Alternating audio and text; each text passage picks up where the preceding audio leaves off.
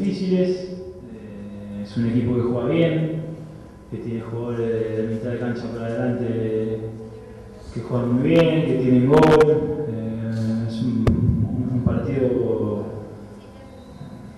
difícil, interesante para jugar, porque es un, un rival que también te deja jugar, así que ojalá que, que podamos hacer un buen partido. Estamos teniendo un plantel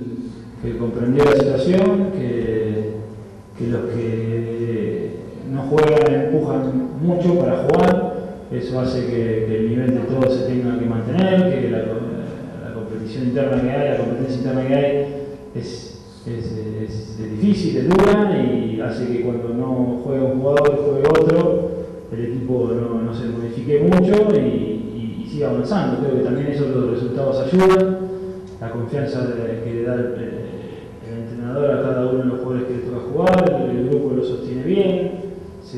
se, dan un montón de cosas que hace que se note poco y eso es muy bueno, ¿no? Habla muy bien del plantel. El plantel en sí, eh, la verdad que, no solamente los que juegan, sino todos eh, siempre tratan de, estar de la mejor manera, sabiendo que, el compañero que le toca jugar, apoyarlo al máximo y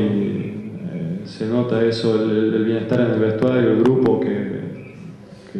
que, son 100 puntos todos.